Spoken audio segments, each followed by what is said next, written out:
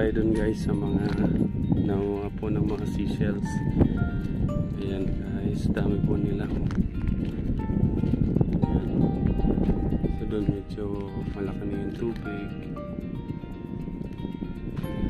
Tignan natin dito.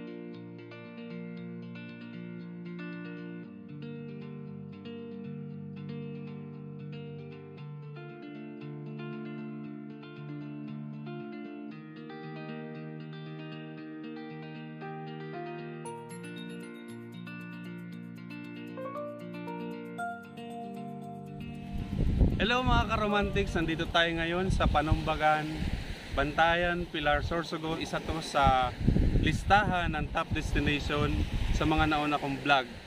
Yan mga karomantics, tingnan natin kung gaano kaganda yung sandbar na sinasabi nila dito sa Bantayan, Pilar, Sorsogon. Ayan, yung nakikita yung sandbar ng Panumbagan. Ah, pag low tide, ah, ang haba niyan papunta dun sa may gitna, papuntang gitna ng dagat. So kaninang mga bandang alas 8, ah, low tide siya. So maraming mga nangunguha ng mga seashells dito, mga taga ibang lugar, mga taga dito. So ginagawa nilang opportunity para makakuha sila ng mga seashells. Ito yung sandbar, simula doon, simula doon hanggang sa dito. So, samahan niyo ako guys, puntaan natin.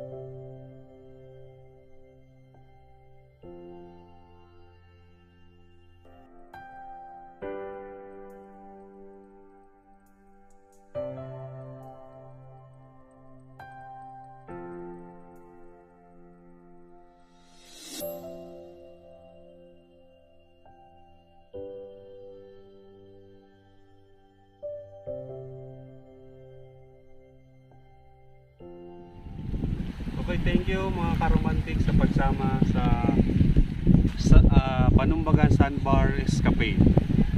Dahil din sa naka 1,000 subscriber na tayo, maraming maraming salamat po sa pagsuporta sa ROM Vlog.